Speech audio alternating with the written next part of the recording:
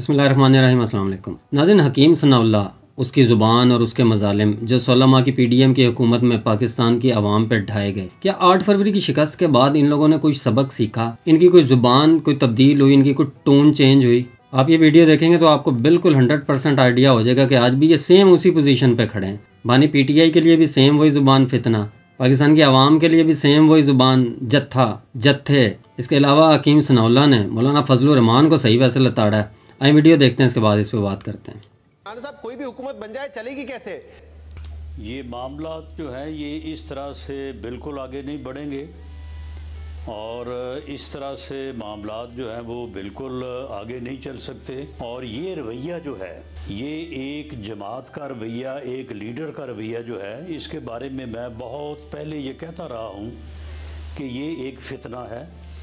और ये फितना बिल आखिर अगर इसका सद्देबाब ना हुआ तो ये इस मुल्क और कौम को ले डूबेगा। ये इस कौम को और मुल्क को जो है वो डैमेज करेगा, इस मुल्क को नुकसान पहुंचाएगा। मेरा ख्याल है कि शायद हम उस तरफ़ जो है वो बढ़ रहे हैं। अगर वो समझते हैं कि ये इलेक्शन ठीक नहीं हुआ तो वो इस इलेक्शन को से जो है वो रिज़ाइन कर जाएँ री इलेक्शन का मुतालबा करें।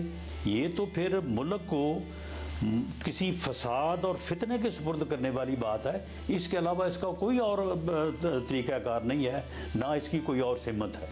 मामला ये है कि अगर तो इनको इलेक्शन ठीक नहीं लग रहा तो फिर बाहर आए ना। बाहर आके कहें कि जी दोबारा इलेक्शन करवाया जाए। राणा साहब अभी अगर ये बात है कि जहाँ पे हम जीत गए वो ठीक हो गए तो हार गए हैं तो फिर वही बात है कि मैं किसी को नहीं छोड़ूँगा मैं किसी और को नहीं देखना चाहता। मैं चाहता हूँ कि असम्बली में हर जगह पे मैं खुद ही हूँ बाकी और कोई नहीं होना चाहिए। लेकिन उनके एहतजाज की काल इस तरह से नहीं है। वो एहतजाज की काल जो है वो फितने पे मबनी है। वो किसी के साथ बैठने को तैयार नहीं है। वो किसी के साथ बात करने को तैयार नहीं है। वो जो जवाब दिया था आज भी उनका तरीक़ाकार वही है। जो कि इस मुल्क को इस रियासत को इस माशरे को जो है वो किसी सूरत भी किसी सूरत भी फ़ायदा नहीं पहुँचा सकता बल्कि वो तबाही के किनारे पे ले आया है। अब मेरा ख्याल एक एक आध धक्का और लगेगा और मामला जो है वो साफ़ हो जाएगा। कल मौलाना फजल रहमान साहब ने कुछ अहम बातें की हैं। उन्होंने ये इल्ज़ाम लगाया है कि ये सारा जो वोट ऑफ़ नो कॉन्फिडेंस का मामला था ये बेसिकली जनरल बाजवा और जनरल फैज ने जो है वो तैयार किया था। कल उन्होंने जनरल फैज कहा था आज उन्होंने कहा कि नहीं वो नहीं थे दूसरे उसमें अशखास मौजूद थे। लेकिन वो कह रहे हैं कि हम तो सिर्फ़ मोहर लगाने वाले थे। पीपल्स पार्टी नून लीग या जे हमने मोहर लगाई। असल में ये इनिशिएटिव जनरल बाजवा का था। हज़रत मौलाना फजल रहमान साहब मेरे लिए इंतहाई इज़्ज़त और एहतराम की जगह पे हैं। लेकिन खुदा की कसम शहजाद उन्होंने ये अपने आप से ज़्यादा की है।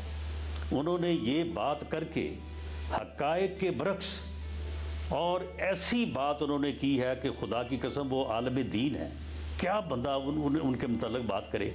मामला ये है कि अपना आज कह रहे हैं कि जनरल फैज़ ने कुछ और अशखाज थे। कौन से अशखाज थे?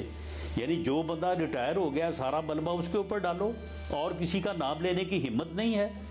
मामला ये है कि मैं एक मीटिंग का गवाह हूँ कि एक मीटिंग उस वक्त अपोजिशन लीडर मियाँ शहबाज शरीफ साहब थे, उनके घर हाउस नंबर 26 वहाँ पे हुई।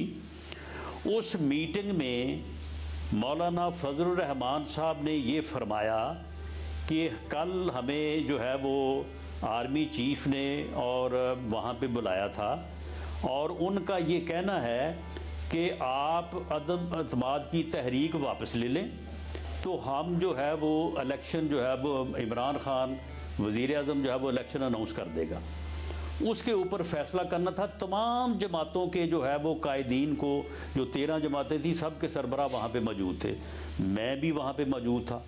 खुदा की कसम, मौलाना ने इतने ज़बरदस्त दलाइल दिए कि इस वक्त हमें ये ये यहूद, यहूदी लॉबी का एक एजेंट है।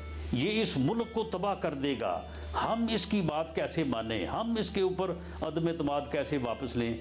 ऐसे दलाइल दिए और इन्होंने ये फैसला करवाया कि हम ये बात नहीं मानेंगे। हम अदम अतमाद की तहरीक वापस नहीं लेंगे। उसके बाद उसके बाद जब एक महीने बाद हमें हर चीज़ सामने नज़र आने लगी तो मियाँ नवाज़ शरीफ साहब के हुक्म पे या मशावरत के बाद फैसले पे हमने जो है वो फैसला कर लिया कि हम असम्बली डिज़ोल्व करेंगे और इलेक्शन में जाएँगे। मौलाना फजल रहमान साहब और आसफ जरदारी साहब, वीडियो लिंक पे मीटिंग हुई। मियाँ नवाज़ शरीफ साहब जो है वो लंदन से जो है वो उन्होंने जो है वो शामिल हुए। वज़ी अजम हाउस का जो वो छोटा कमरा है, कैबिनेट मीटिंग का, वहाँ पे मीटिंग हुई। इन दोनों साहबान ने एड़ी चोटी का ज़ोर लगा के मियाँ नवाज़ शरीफ को कायल किया इस बात के ऊपर कि नहीं। रिज़ाइन नहीं करना इलेक्शन में नहीं जाना जो है वो गवर्नमेंट को जो है वो वो, वो चलाना है। तो यार उसके बाद ये ऐसी बात कर रहे हैं। यानी ठीक है। अच्छा अब राणा साहब बाजवा साहब पे या जनरल फैज पे सुन लें जनरल फैज पे मुझे उनसे कोई हमदर्दी नहीं है। बल्कि हो सकता है कि मुझे सबसे ज़्यादा उनके ऊपर जो है वो नाराज़गी हो या एतराज़ हो लेकिन ये क्या तरीका है? कि अब एक आदमी रिटायर हो गया तो अब सारे हर इल्ज़ाम ही उसके ऊपर हर इल्ज़ाम ही उसके ऊपर। ये इस बात अच्छा, में कत्तन कत्तन कोई हकीकत नहीं है कि इनको कि हमें किसी ने कहा था कि दो, दो चीज़ों का जवाब दें। वोट ऑफ़ नो कॉन्फिडेंस जो है वो करो। रा, राना साहब एक तो ये कहा है कल मौलाना फजल रहमान ने कि तमाम पार्टीज़ की कायदीन वहाँ पे मौजूद थे और सामने ये बात हुई थी कि बाजवा साहब ने कहा कि आप लेकर आए अदम अतमाद की तहरीक और जो तमाम पार्टीज़ है वो उन्होंने सिर्फ़ मोहर लगाई। ये इनिशिएटिव उनका था। आप कह रहे हैं कि नहीं उस वक्त तो ये बात हुई थी कि अदम गलत है। कतन गलत है। अगर इसमें हकीकत है तो सिर्फ़ ये है कि जो अदम अतमाद की तहरीक सियासी जमातों ने जिनमें हम भी शामिल थे बाकी भी शामिल थे उन्होंने अदम अतमाद की तहरीक मूव कर दी। उस अदम अतमाद की तहरीक को नाकाम करने के लिए कमर जवेद बाजवा साहब ने या फैज़ हमीद साहब का नाम ये ले रहे हैं उन्होंने कोई किरदार अदा नहीं किया जिसके ऊपर इमरान खान नाराज़ हुआ। और वो कहता रहा कि ये न्यूट्रल तो जानवर होता है। ये आप अगर घर को आग लगी है चौकीदार कैसे कह सकता है कि जी आ, मैं जो है वो न्यूट्रल हूँ?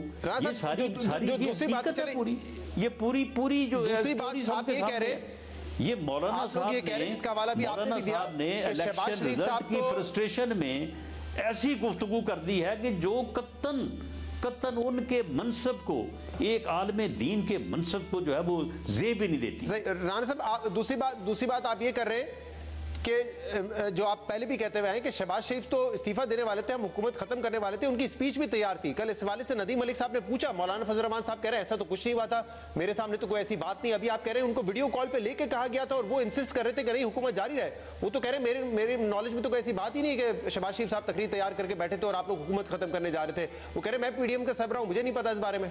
देखें, वो आलम दीन है, आलम दीन है, मौलाना है, अगर वो ये बात कर रहे हैं तो इन्ना लाला व इन्ना राज़ी हूँ खुदा की कसम, इन्होंने हुकूमत जो जे जो आई के लोग हैं, इन्होंने हर दिन को आखिरी दिन समझ के हुकूमत की है ना मेरा ख्याल है कि उन्हें चाहिए कि वो बस इस बात को यहीं तक रहने दें इलेक्शन की फ्रस्ट्रेशन में ऐसी बातें ना करें कि जिनके बाद में जो है वो जवाब आए। जी नाजिन आपने राना साहब की बातें, हकीम सनाउल्ला की बातें सुन ली। मेरे ख्याल में मुस्लिम लीग नून की शिकस्त की सबसे बड़ी वजह यही है कि इन्होंने सोलह माह की हुकूमत में जो इकदाम किए, पाकिस्तानी अवाम ने उस पर शदीद रद्दमल दिया। वो चाहे जलसे जुलूसों की सूरत में हो, चाहे वो सोशल मीडिया हो, या एहतजाज किसी भी सूरत में हो। लेकिन इन्होंने इस चीज़ से कोई सबक नहीं सीखा। अवाम के जो जज्बात थे, इन्होंने बिल्कुल भी उसकी कोई ख्याल, कोई कदर नहीं की। घटिया ज़ुबान इस्तेमाल की लोगों के लिए, पाकिस्तान के अवाम के लिए। उसकी सबसे बड़ी वजह यह थी कि इस्टेबलिशमेंट की तरफ़ से जो उन्हें तसली करवा दी गई थी कि अब आप ही हो। इसलिए तो आपने देखा कि मुस्लिम लीगियों ने कहना शुरू कर दिया था कि साड़ी गल हो गई है। लेकिन अब इन्हें कम अज़ कम सबक सीख जाना चाहिए कि भाई, बात जो है वो अवाम से इनकी होनी चाहिए। बस आवाम के साथ रबता, ताल्लुक़ और मोहब्बत का जो एक रिश्ता है, वो इन्हें कायम करना पड़ेगा। लेकिन राना सनाउल्ला की आपने बातें सुन ली, वही टोन सेम। लेकिन इस वीडियो में आपने देखा कि हकीम सनाउल्ला ने जो मौलाना फजल रहमान के बारे में बातें की हैं, इसमें उनकी बात में वज़न है। मौलाना फजल रहमान जो है काबिल अतमाद इंसान नहीं है। इससे पहले भी जो इमरान खान के ख़िलाफ़ उन्होंने धरना दिया और बाजवा के कहने पे किया। बाद में उन्होंने बक दिया था मुँह से कि हमें जनरल बाजवा ने ऐसा करने का कहा था? वैसे यहाँ पे मौलाना के साथ हुई ज़्यादा है। आप ये देखें कि ये पीडीएम के जो कम अज़ कम किरदार थे, ये जो इस्टेब्लिशमेंट के ये जो एजेंट थे इनमें से अब मौलाना फजल रहमान को भी हिस्सा तो मिलना चाहिए था, चाहे बकरे की उजड़ी देते, लेकिन कुछ तो उसको देते बेचारे को। अब वो इसी वजह से उल्टी सीधी मारने लगा हुआ बाकी रही पीटीआई के साथ इतिहाद की तो इतिहाद उनका ये नहीं है कि उन्होंने कोई सीट एडजस्टमेंट का इतिहाद कर लिया कोई ऐसा कोई इतिहाद नहीं वो अपने अपने बयानिया पे बिल्कुल कायम है। बात सिर्फ़ इतिहाद किस चीज़ पे हो एक नुकता के धांधली, वो भी कह रहे हैं धांधली, वो भी कह रहे हैं धांधली जी डी ए भी कह रही है धांधली, जमात इस्लामी भी कह रही है धांधली। इस नुकते पे जो है सारी जमातों को आ जाना चाहिए। असल में जो इनका, जिसके खिलाफ धांधली के सारे कह रहे हैं, दुश्मन सारों का एक है। चाहे वो इस्टेब्लिशमेंट है, चाहे वो इलेक्शन कमीशन है। तो इस वक्त सारे एक होंगे इतिहाद होगा तो ज़ोर का जितना धक्का लगेगा उसी से इनकी बात बननी है उससे पाकिस्तानी अवाम मेरा ख्याल है, इस इतिहाद से ज़रा भी मायूस नहीं होगी, चाहे वो जमात इस्लामी या किसी के साथ भी इतिहाद हो, इस एक नुक्ते के ऊपर। बाकी अगर सियासी मैदान और ग्राउंड रियलिटी देखें तो मुझे ऐसा लगता है कि अब नून लीग के साथ साथ मौलाना भी पाकिस्तान की सियासत से आउट है एंड ऑफ़ जर्नी की तरफ़ जा रहे हैं। मिलते हैं वो जल्द, अपना और इस चैनल का अच्छे से ख्याल रखिएगा। अल्लाह हाफिज़।